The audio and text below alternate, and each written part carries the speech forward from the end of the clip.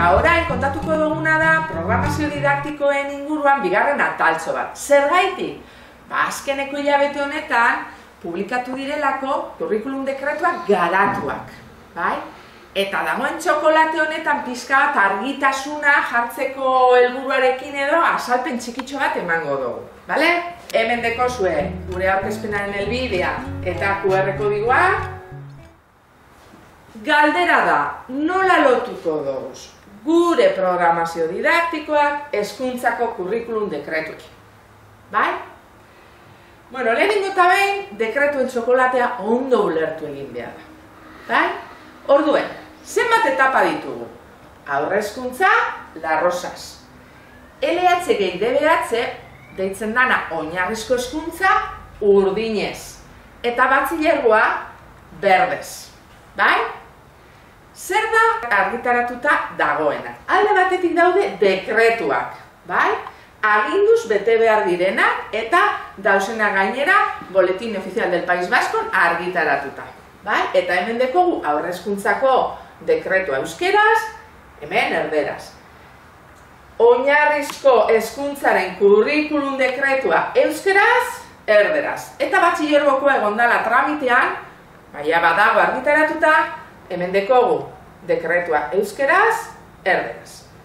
Baina, honekin batera, agertu dira ere, dekretua osatzen duten kurrikulum orientatzailea. Bai? Guk esaten dutzeguna kurrikulum garatua. Aurrezkuntzako kasuan ez dago. Oinarrizko eskuntzaren kasuan badago, euskeraz eta gazteleraz. Eta batzierroa ere euskeraz eta gazteleraz. Bueno, zer desberdintasun daude hauen arte? Aleginduko gara azaltzen. Zer dio aurrezkuntzako kurrikulum dekretua? Bera bakarrik dago. Ez dago garaturik. Ba, aginduz bete behar dana, dira, bi edemutan gelditu da, lehen hiru genituen orain bi, bi etapetan mantentzen da horrezkuntza, dekretuan agertzen dira eremuka etapako helburuak, etapako evaluazio irizpideak eta adierazleak. Eta eremuka eta zikloka eduki blokeak garatuak. Eta hemen, esampol honetan, baduzue bakarrik pildora bat. Bai? Alde batetik, aurrezkuntzan ikusteko ba, zelako lotura dauzkaten oinarrizko kompetentzia aurrezkuntzako eremuekin, lehen hezkuntzako arloekin eta derrigorrezko bigarren hezkuntzako ikasgaiekin, bai? Ez galtzeko hainbeste terminologiarekin, eta hemen dekogu adibide bat, hemen dekogu etapako helburu bat, eta dekogu lehen zikloko edukiak, eta horrekin lotuta dagoen evaluazio irizpidea eta adierazleak. Hau da, aurrezkuntza.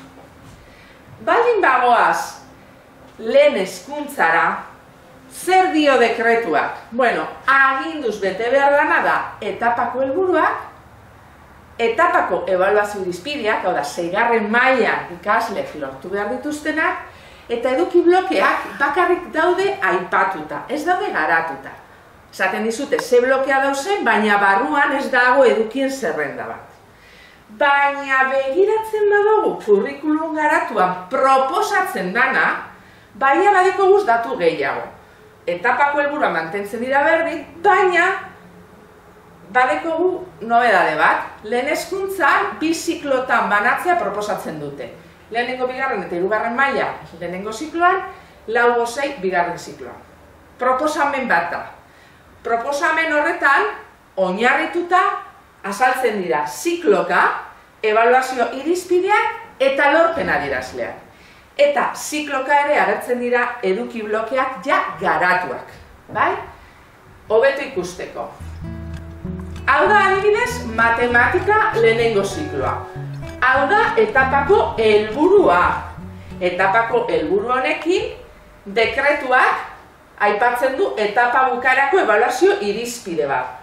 Baina, kurrikulum garatuak egiten duena da, evaluazio irizpide hau zehaztu irugarren maila arte, hemen ikusten dozu aldaketa badagoela, eta gainera aipatzen ditu honekin batera lortu behar diren adierazleak.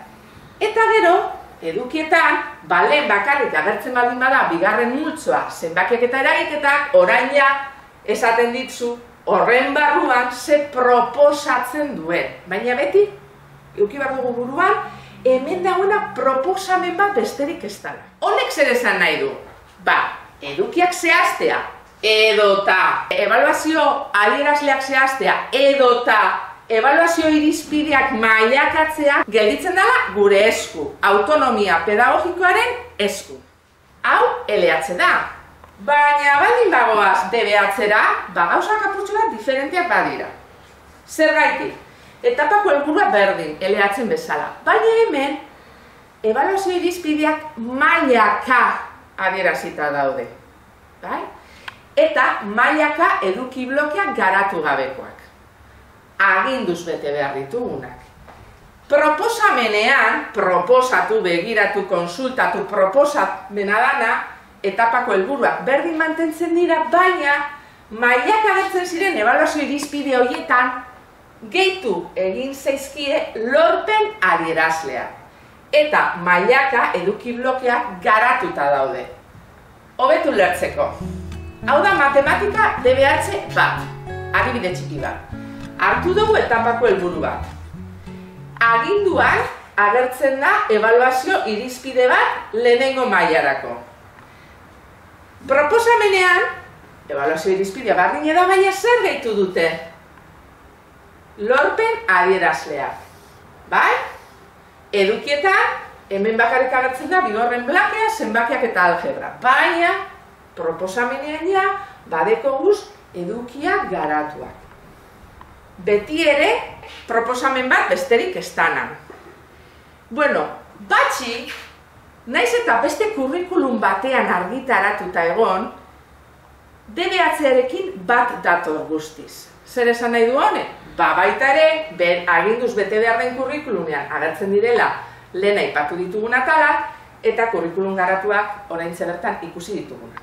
Bai? Ordua, DBH eta batxillerroa oso antzeko egitura dut. Bueno, hau da gana, eskerrik asko, Gehiago jakin nahi badozue sartu el bideo honetan eta badakizue kurrikulunak eta programazioak irakurtzera eta egitera.